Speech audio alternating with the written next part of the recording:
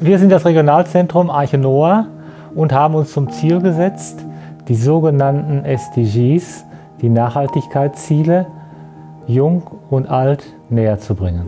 Durch die Möglichkeit, mit allen Sinnen zu arbeiten, zu sehen, fühlen, riechen und hören, kann jeder seine Naturerfahrungen auf unserem Gelände machen.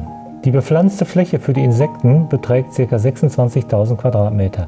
Darin enthalten ist eine Blüh- und Kräuterwiese, Obstbaumwiesen, Waldflächen, ein Teich, Bach und Auwald und natürlich der Wildbienenlehrpfad und viele Wildbienenhotels mit unterschiedlichsten Brutmöglichkeiten. Ein Naturerlebnisraum, der eine Fülle an Primärerfahrungen bereithält. Für die pädagogische Arbeit ist die Wildbiene sehr gut geeignet, weil sie ziemlich harmlos ist und auch so gut wie nie sticht.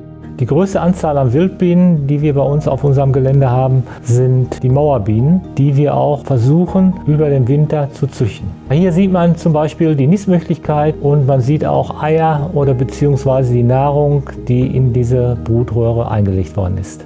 Wir wollen natürlich unsere pädagogische Arbeit fortsetzen und versuchen einen digitalen Pfad aufzubauen, wo wir die Wildbiene auch präsentieren können. Für die Zukunft wünschen wir uns, dass viel mehr auf die Nachhaltigkeitsziele geachtet wird als bisher.